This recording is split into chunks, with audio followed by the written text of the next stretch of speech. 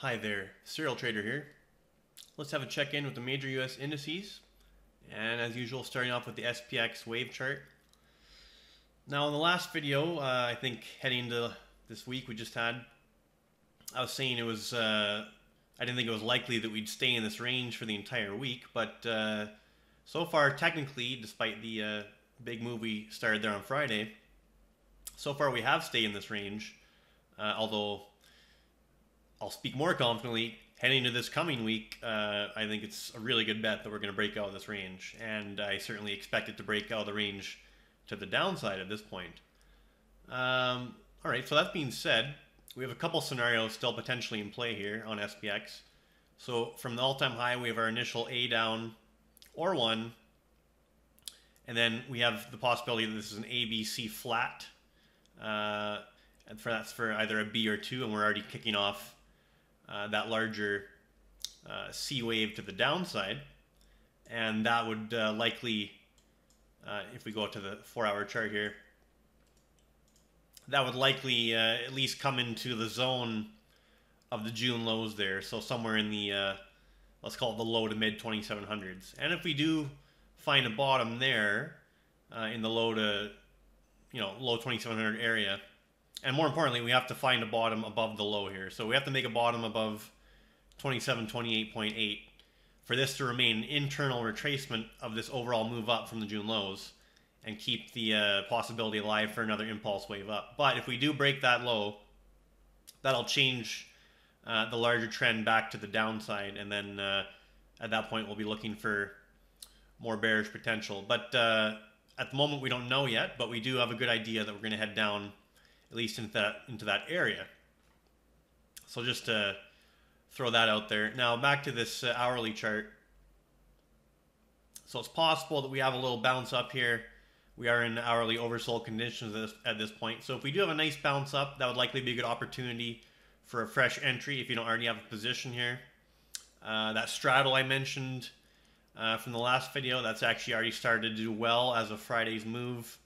You had the implied volatility increasing on the options, and of course the actual movement uh, to the downside made the puts do well. So that uh, that straddle position that I mentioned, basically, if you'd entered at any time uh, during the week, there it's already uh, it's already looking pretty good. And obviously, if we break down here and get down to those uh, targeted levels, it'll it'll perform uh, better still. And that was the September monthly straddle. And I think for SPX, the strike I was uh, playing with there, or at least that I mentioned there on Monday on the comment, uh, 29.25. Um, okay, so yeah, so there's this scenario. We got the flat already done, and we're heading down.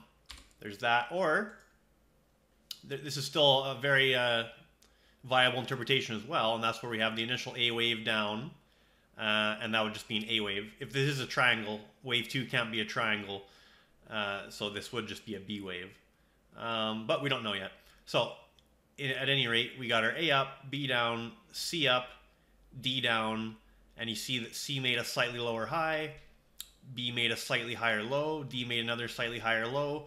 Now, if we do get a bounce up here before we break down below this B wave low, so if we can bottom here short term before 28, 25.5 and get a bounce up here, this will look like a good E wave. And if we get this, uh, and you get up into this E-wave area, that will be an excellent place uh, to attempt just an outright short, selling futures or buying puts.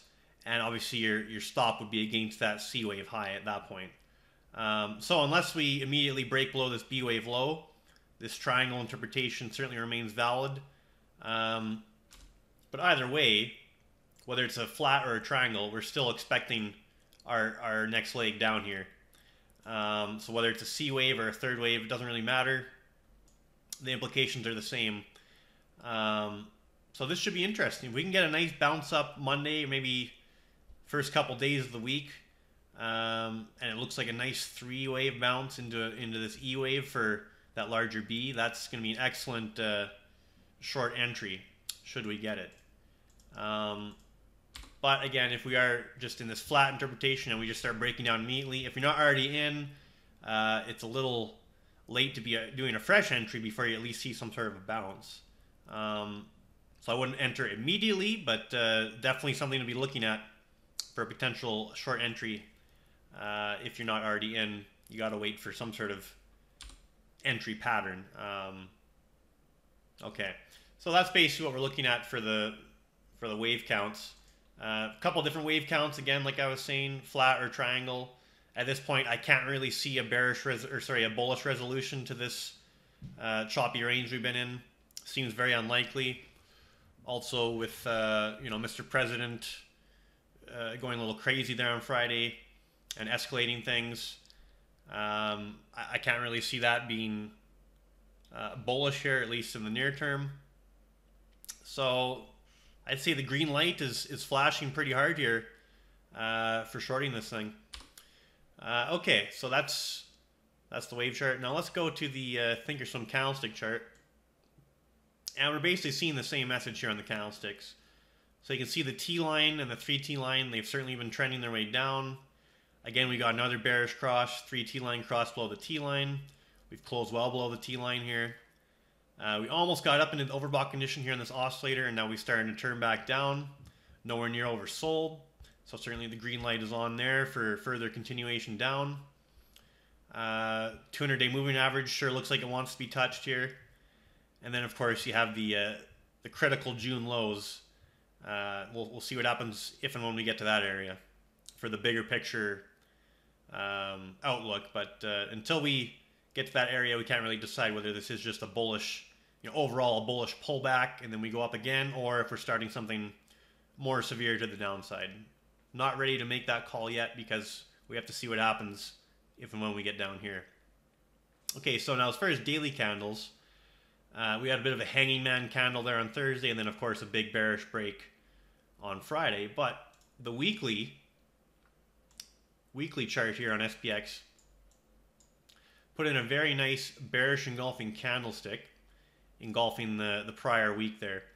So bearish engulfing candlestick, again uh, finding resistance on that weekly T line, closed well below the weekly T line. So everything's lining up here for more downside. Nowhere near oversold on the weekly, and certainly not even back to the previous uh, area here on the oscillator that we got to on that June sell-off. So the message is pretty clear here. Uh, looking at everything, we need to go down some here. Um, okay, that's SPX. We'll go to the Dow Jones Industrial Average. Very much the same thing. So we had a, a doji star on uh, Thursday and a nice reversal off of that and then a big red day. Now we're right back to the, basically around the 200 day moving average on the Dow. And similar implications, we'd be definitely looking down towards those June lows here on the Dow. Uh, weekly, anything we got here on the weekly for the Dow? Okay, no. That's not a bearish engulfing on the Dow, but uh, it's definitely still a negative week. Uh, kind of an inverted hammer, although the uh, the real body's a little too large and the uh, upper upper shadow isn't quite long enough, but certainly uh, still bearish bearish candle there, no doubt about it. But I do like that bearish engulfing on SPX. That uh, that gets my attention. Okay, so that's the Dow, and we'll go to the Nasdaq Composite.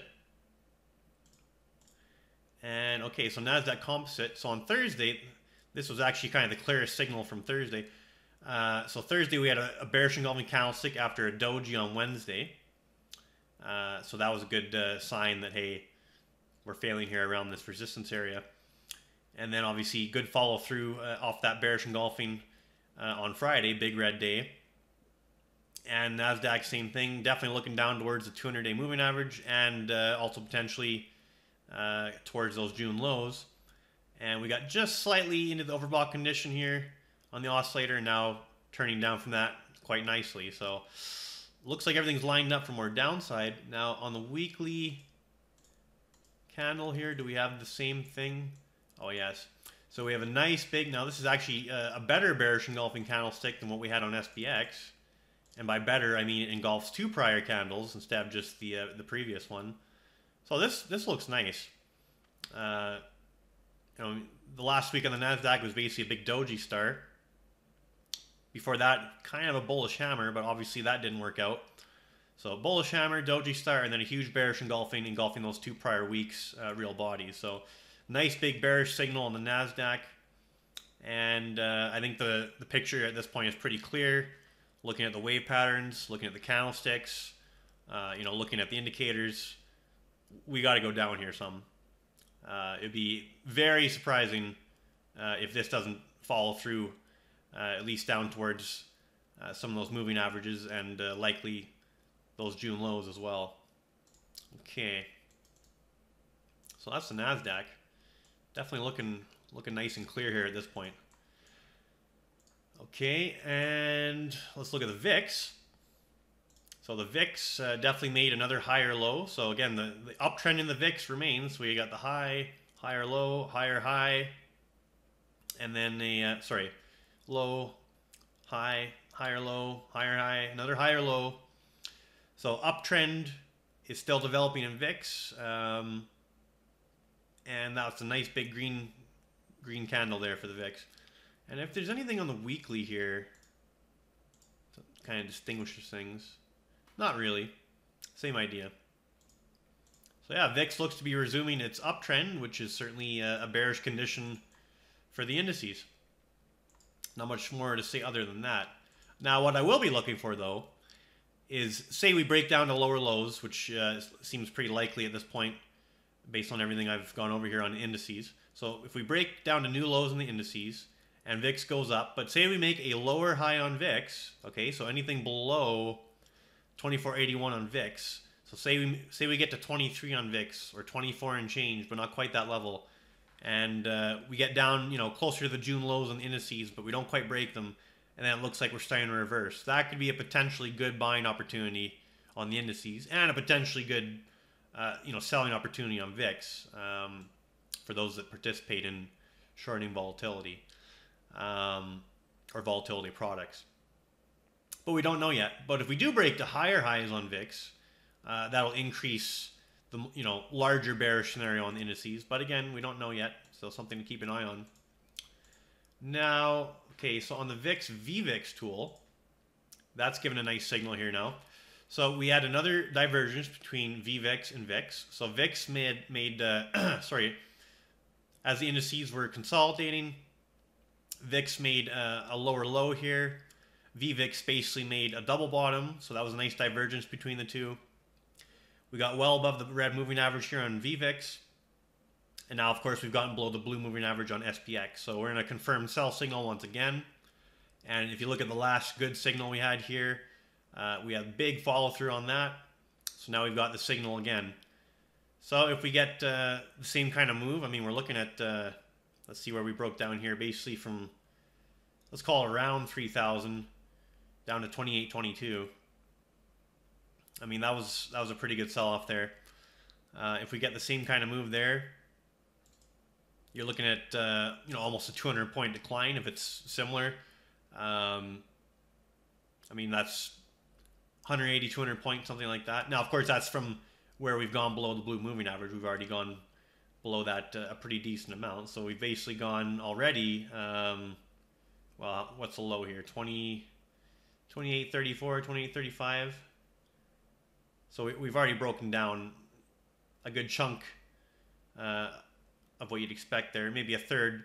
So, yeah, it should be a good signal, but uh, it's a little late to be chasing here unless you get some sort of short-term bounce for a better entry.